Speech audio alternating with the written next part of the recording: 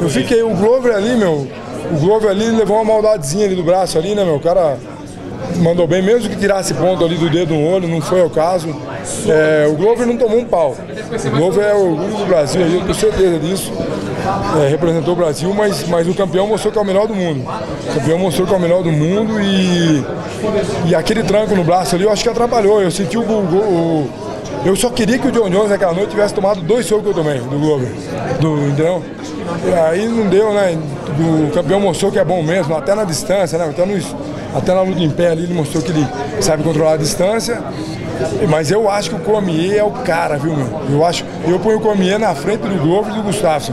Para mim o Gustafsson é o quarto, o Glover é o terceiro, o Cormier é o segundo. E para mim, eu vejo 50-50 para o Cormier ganhar do, do campeão. O campeão é fantástico, né? Então, eu vejo se Daniel, para mim o Gustavo vai tomar um. Vai apanhar muito. Tudo pode acontecer, mas vai apanhar muito do Glover, né? Do John Jones na revanche. Acho que o John, o John Jones não esperava uma luta equilibrada.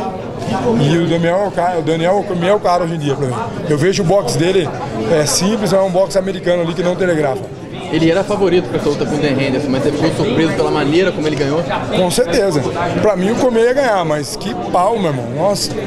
Eu, o Dan Henderson ali não precisa falar mais nada dele, né? O, o que tem de honra desse, né? Imagina, a gente tem que seguir, tentar seguir um cara desse, né?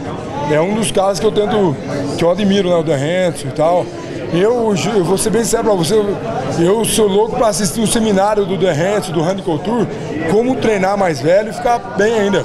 Porque com certeza os treinos são, são diferentes, cara. A gente viu ele fazendo alguns combates com lutadores muito mais novos, que muito mais novos na época do Pride, e passou 10 anos, o lutador mais novo já era e ele é o cara ainda. Então ele, ele é o cara bem. Então é, esses caras, Bernard Hopkins, é, no boxe ali, é, é os caras que, que a gente, que os brasileiros têm muito que aprender. Que hoje em dia o problema do Brasil é os treinadores. Os treinadores, é todo mundo é expert, tudo difícil equipe assim. O Patrício Pitbull falou a verdade. Não tem melhor equipe no mundo, ali, ali ou nos Estados Unidos. Você tem que ter um cara para cuidar de você à parte. Você vê que toda hora tá gente se machucando. Tem treino que você tá vendo que vai machucar. Então, é, o Dan Henson, para mim, eu, é, um, é um mito assim que eu vou, vou sempre admirar ele.